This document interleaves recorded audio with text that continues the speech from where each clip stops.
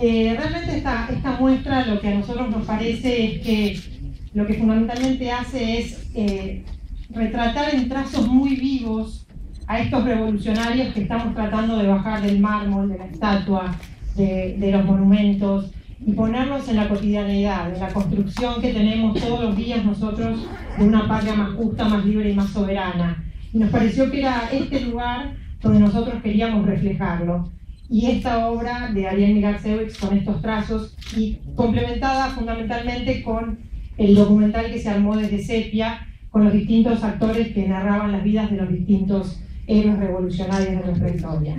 Así que para nosotros es un gran placer. El Museo Nacional de Bellas Artes lo que quiere siempre es ampliar públicos, recibir cada vez gente más diversa. No queremos perder a nadie, pero queremos recibir cada vez públicos más inclusivos. Así que Agradecimientos a la Asociación Amigos del Museo Nacional de Bellas Artes, que siempre colabora con nosotros en la tarea de llevar adelante las muestras, a todo nuestro personal y a todos ustedes que nos acompañan hoy.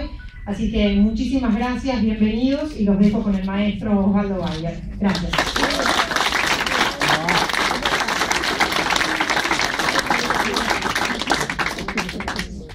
Bueno, muchas gracias. Realmente es una emoción ver esto, ¿no? Las fantasías de la realidad, el arte. ¿Cómo sabe interpretar el arte esa fantasía que tiene la realidad? Esta exposición nos habla de nuestra historia y nos dice más tal vez que varios tomos de historia.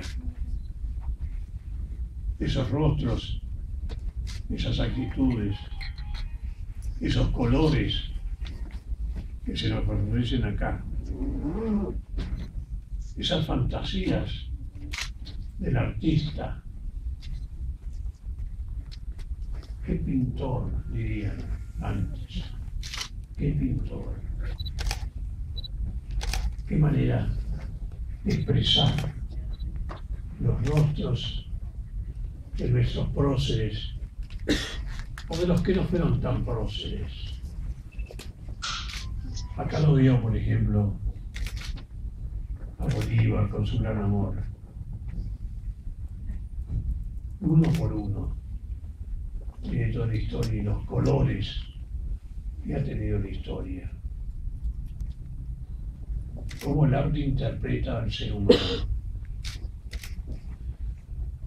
En sus actitudes de mano abierta, es también sus actitudes de locura.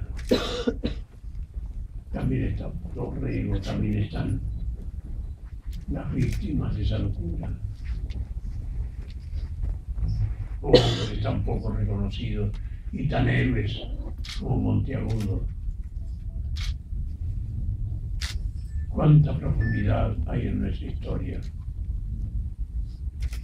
¿Y qué hicimos con nuestra historia los argentinos? Está un Castelli, héroe tan poco nombrado. Y qué profundo ese Castelli. Fíjense ustedes, diciembre de 1810, Castelli llega al Alto Perú y escribe una resolución que está en el Archivo General de la Nación. Increíble. Y si a partir de este momento los pueblos originarios van a tener los mismos derechos que nosotros, los hijos europeos. Vamos a devolverles las tierras comunitarias de ellos que les fueron robadas por los españoles. Y compatriotas, debemos aprender de los pueblos originarios su respeto por la naturaleza, no toman más de la naturaleza lo necesario para vivir pensando en las próximas generaciones. Y tampoco tienen sentido de la propiedad. Para ellos todo es comunitario. Aprendamos de ellos estas dos cosas. Y que ellos aprendan de nosotros, de los hijos europeos, nuestro amor por la ciencia, el querer saber de dónde vamos y de dónde venimos.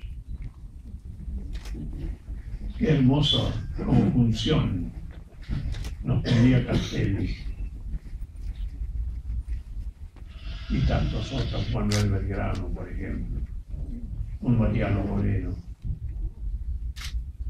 Y aquí están todos retratados, con ese afán de decir todo, de demostrar la personalidad de cada uno. Ariel, yo te felicito. Pensaba esperar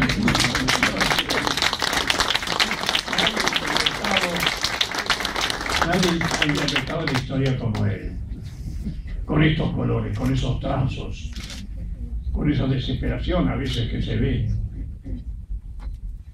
pero que hacen un conjunto de interpretación, una búsqueda de lo que fuimos. Que aquellos gloriosos hombres, con sus equivocaciones también, como los tenemos siempre los seres humanos. ¿Qué pasó? ¿Qué nos pasó a los argentinos después de esto? De esta historia de los principios de la Argentina. Esas dictaduras militares, esas masacres obreras de Irigoyen, la Patagonia rebelde, la Semana Trágica, la Forestal, y después la desaparición de personas. Los tan vivos ni muertos, dijo Videla, están desaparecidos. Ojalá que miremos estos cuadros y aprendamos de la historia. Y nunca más, nunca más una dictadura. Ariel, gracias por tu esfuerzo, gracias por tu arte, gracias por tu prosperidad.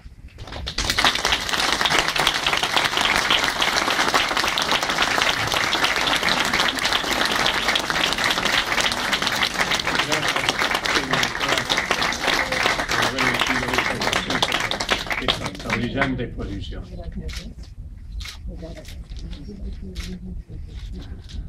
Bueno, ahora nos va a dirigir unas palabras el artista Ariel Milarcewicz. ¿Cómo, ¿Cómo hacer, no? Pero fácil No. Bueno, eh, estoy muy emocionado, eh, como lo deben estar ustedes, escuchando acá al maestro. Imagínense cómo estoy yo, no, casi no puedo hablar. Eh, bueno, antes que nada agradecer al Museo Nacional de Bellas Artes, a la Secretaría de Cultura, a la doctora Marcela Cardillo, directora de esta institución, a la directora artística María Inés, bueno, y a todo el, el- el- el equipo maravilloso que hay en el museo, que conozco hace tantos años, a la Asociación de Amigos del Museo Nacional eh, por su colaboración y bueno, y a todos ustedes por estar acá. Y disculpen, no puedo seguir. Gracias por venir.